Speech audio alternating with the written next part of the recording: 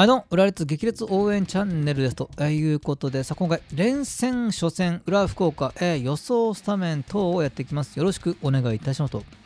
えーいうことで、まあ、予想スタメン等と言いながら、今回予想スタメンが、えーメインの話にはなってきます。まあ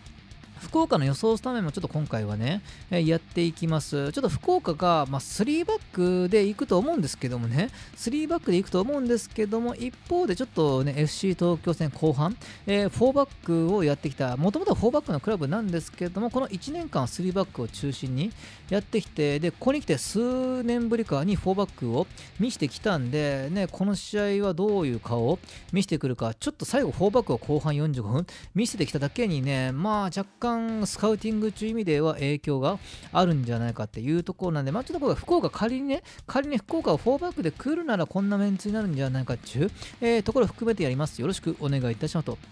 えーいうところはこちらですね。ってところで、これが予想先発にはなってきます。で、福岡はだから4バックであれば一応こんな感じになるんじゃなかろうかっていう配置ですね。で、じゃあ福岡から見ていきましょうかね。まあ、4バックであれば前島選手が右のサイドバック入って、奈良選手、田代選手の2センターバックになるでしょう。で、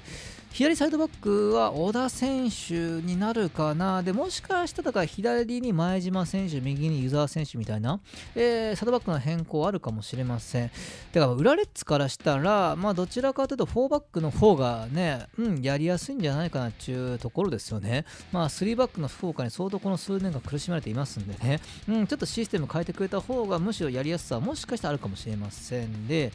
まあ、サイドハーフは今野と金森が務めるでしょうし、で、ボランチは重見前、まあ、ただこう松岡が入る可能性もありますよね。前回の FC 東京戦でゴール決めた、えー松岡選手がこの試合入る可能性も十分、えー考えられますんで、まあ、そういう意味ではね、えーまあ、重見、変化があるのは重見のところに松岡入るかどうか、前選手はね、外せないんで、重見のところに松岡が入るかどうかっていうところでしょう。で、2トップもウェリントン、岩崎に、えーなるんじゃなかろうか、2トップならね、ちゅうところで、で、あとは新外国人選手が2名いますんでね、えーイラン人フォワードとね、あとはだからベンカリファが出るかどうかというところでしょうかね。まあ、4-4になればこんな形の先発予想にはなってきます。で、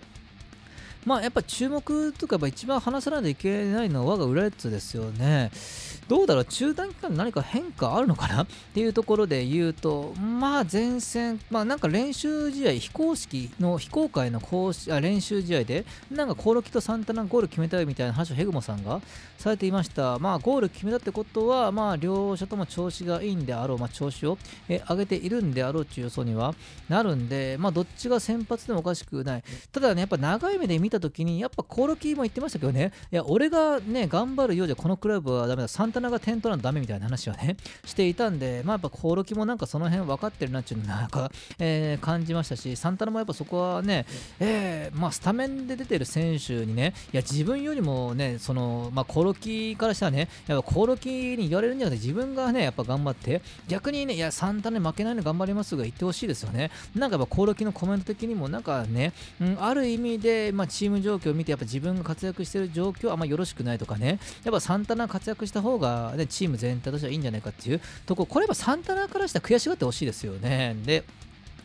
ウイングのところでしょうね。まあ、右は前田が硬いでしょう。で、ウイングは左は松岡関根かでしょうけども、ただ、小泉のね、ところ、まあ、もしかしたら関根かもしれませんね。えー、やっぱ、前回湘南ベルマーレ戦で決定機2回ぐらい外してますしでやっぱりいろんな方言われてますけどね。まあザ日本人というかね、うん、やっぱ厳しい言い方をすると監督のね言うことを守っているだけではね、うん、難しいんじゃなかろうかというところですね、うん、やっぱ監督がやってほしいベースはあるんだろうけれどもただそこを一つ破ってね破ってやっぱ動いてほしいかなーってのはある。裏抜けもそんなにない。まあやっぱ監督の示を守っているとよく小泉は言われますけど一方でやっぱ裏抜けも少ないし監督の、ね、やってほしいことをやろうとしているのは分かるんだけどもしかしまあ、えーできていないっていうのが、まあ、本音のところにはなりますんでそうなると関根のインサイドハーフで、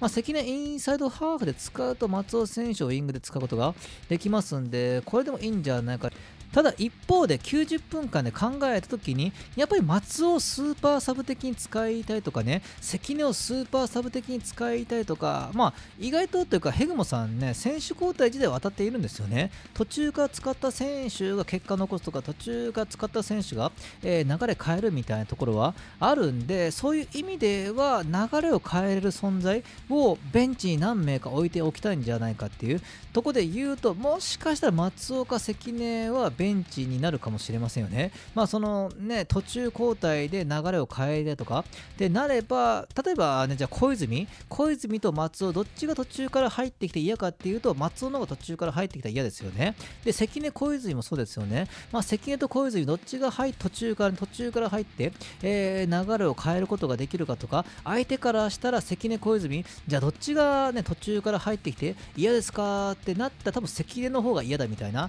相手からしたら嫌な交代まあ、うん、嫌な選手交代相手からしたら嫌な選手交代って考えたら関根松尾のがいい感じがするんで前半小泉で行って耐えて後半勝負みたいなところはもしかしたら監督の頭の中であるかもしれませんよね。まあ、僕が監督であれば途中から流れを変えることができる存在はベンチに、え置いておきたい。それがなんか中島翔也ができればいいですし、まあ、そういうジョーカー的な意味で中島翔也をね、えー、ね、関根松尾みたいな役割をその途中から出てきて、流れ変えるみたいな役割を前回までの松尾選手ですよね、の役割を中島選手がやれればいいんですけどもね、うん、ちゅうところで、まあ、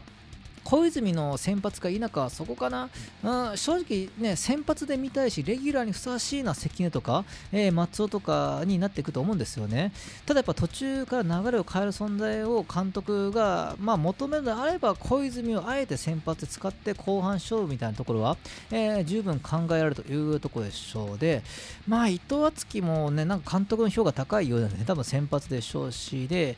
うーん、岩岡グスタフソンでしょう、アンカーね。だからまあ僕の中ではグスタフソンはやっぱりね、帰国したばっかりなんで、まあ先発から外れるんじゃないかっていう予想ですよね。裏剣の島崎さんは、いや、グスタフソン先発で行くんじゃないかっていうことなんかね、言われていましたけども、どうなんだろうな、ね、グスタフソン、僕は控えカーでもいいのかっていうのは感じますんで、まあ、伊尾選手がそれこそアンカーで出て途中からグスタフソンが出るみたいなところとか、まあ、えー、グスタフソン、岩尾を同時に使う可能性もゼロではない。ただ、その時どっちがアンカーに入るかですよね。ただ、僕は常々言ってますけども、アンカーはグスタフソンの方がいいですね。うん、やっぱりね、プレッシャーとか、特に福岡みたいに、え、プレッシングがうまいクラブで言うと、やっぱりね、そのハイプレス受けた時に何かいなせるのは、まあ、グスタフソンかというのは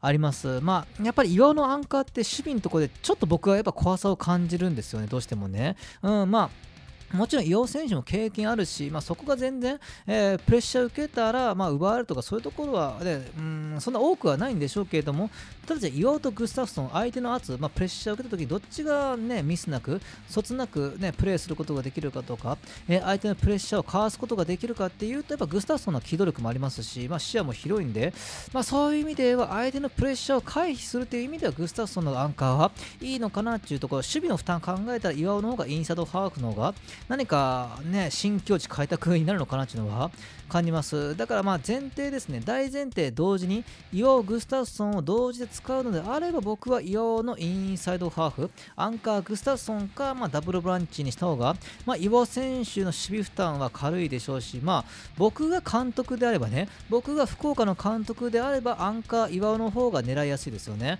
うん、グスタフソンよりも岩尾アンカーの方がプレッシャーかけた時に、えー、ボール奪えるんじゃないかいうのは正直あるんでね、まあ、そういうところ逆に考えた時にじゃあね岩尾選手の方がそこはアンカーで、えー、狙いやすい、まあ、インサイドハーフであれば逃げ道がねあるんですよね。これ横も縦も。斜めも後ろもあるんですけどアンカーって結構コースが限定されるんでそこでちょっと岩尾がばたつかないかなっていう不安はどうしても僕の中では、えー、あります。ってところで言うとやっぱグスタフソンの方が守備のところ。まあ、えーね、うまいこと相手のプレッシャーかわせるんじゃないかってところでグスタフソンアンカー推しというところでしょう。ただまあにしてもグスタフソンにしてもアンカーのオフェンス面ですね、えー、パスを散らすっていう意味ではどちらも遜色ない感じがするんで、まあ、そこは監督がどう考えるかかなと感じますけどもね。で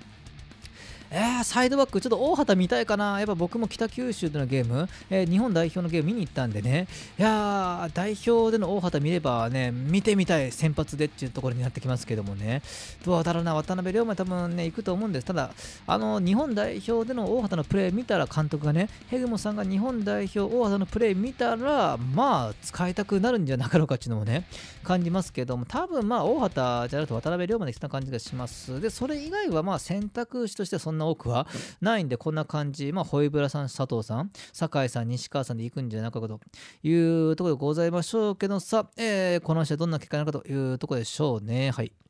というところが以上です。一度パルムテージルサッカーじゃなかった、えー、激烈応援でございます。えー、なんだ、えー、裏列激烈応援チャンネルでございました。よかったらチャンネルます。その